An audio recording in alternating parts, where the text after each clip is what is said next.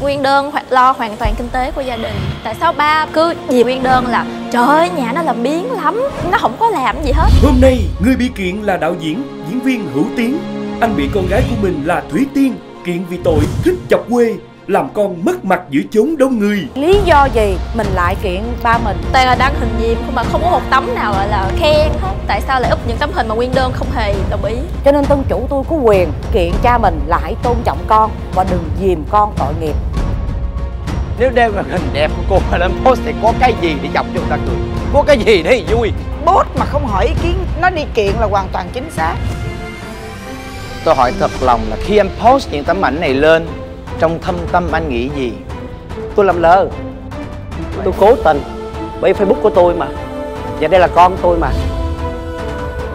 Còn anh chỉ lưu giữ những cái gì thuộc về cái ký ức của mình thôi đúng. Đó là một cái niềm vui.